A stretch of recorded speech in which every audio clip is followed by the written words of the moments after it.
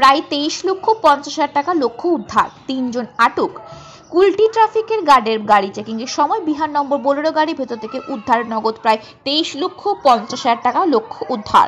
আটক তিনজন।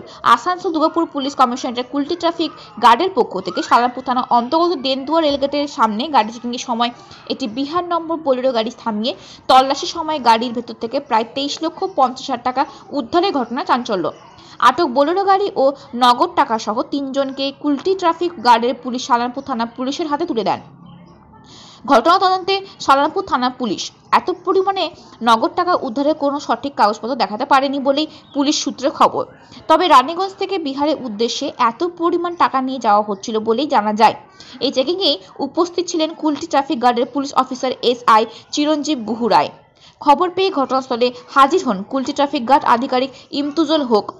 আটক তিনজন বিহারের বাসিন্দা বলে জানা গেছে। আপনারা দেখছেন আসানসোল নিউজ। रहे थे आप लोग। हम लोग व्यवसाय का अपने घर माना हाजीपुर जा रहे कहाँ से लेके आ रहे थे पैसा? रानीगंज से।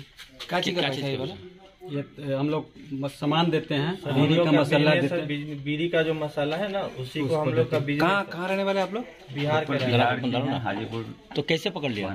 सर हम लोग का पैसा एक नंबर का है ठीक है लेकिन बस यही है कि हम लोग कैश कैश कैश कैरी कर रहे हैं। कैश कैरी करके जा रहे थे आप लोग कहाँ का रहने वाले हैं? बिहार हाजीपुर से 30 किलोमीटर पहले महनार गाँव पड़ता है। अच्छा तो आप लोग दिखा नहीं पाया कि पैसा एक नंबर है? एक्चुअली वो आ रहा है पार्टी को बोलने की पूरा हैं। सर बिल का जो पैसा है ना। तो आप लोग को मालूम नहीं कि अभी बॉर्डर इलाका इतना रुपया कैश लेके जा रहे कैश बहन का शादी। बहन सिस्टर का शादी है वहाँ वहाँ में कैश निकलेगा नहीं उतना। और यहाँ छोड़ लेते बस बात यहाँ पर हम लोग छोड़े हुए थे तो वही कैश। आपका नाम? आदित्य कुमार।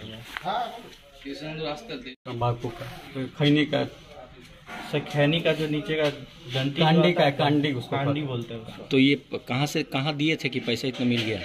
ये हम लोग व्यवसाय करते हैं रानीगंज में दिए थे। सर एक्चुअली क्या है कि हम लोग सालाना बेसिस पे बिज़नेस करते हैं ठीक है? और कुछ नहीं मिला। हाँ, एक साल का बिज़नेस है पेमेंट जो होता है कभी एडवांस होता है कभी लेट जाता है कभी ड्यूज रहता है वो सारा हिसाब बारी करके इसका पेमेंट था। घर में क्या है एक्चुअली कि शादी का माहौल था हम लोग के यहाँ।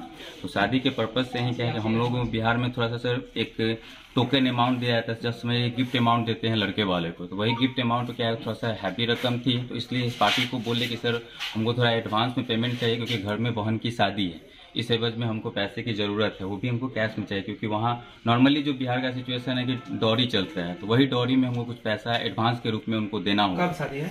शादी सर अप्रैल मंथ में। है तो अभी क्या है कि इंगेजमेंट हो चुकी है उसके बाद क्या है कि पहले जाके थोड़ा अमाउंट देते हैं फिर खरीदारी होती है शादी का प्रोसेस बढ़ता है। इस कारण हम लोग यहाँ पे कैरी एक आदमी बोलिएगा।